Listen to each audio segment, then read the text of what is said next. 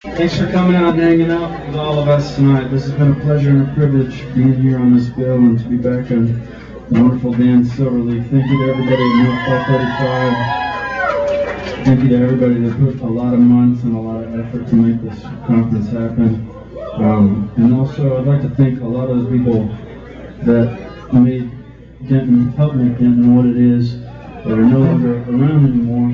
A lot of the people that helped run the Argo and the Karma Cafe and the Good Bad Art Collective.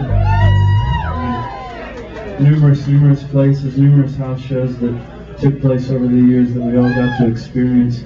And uh, I'd like to give them a hearty salute. This one is called The Mighty Midshipman and it is dedicated to all, new and old.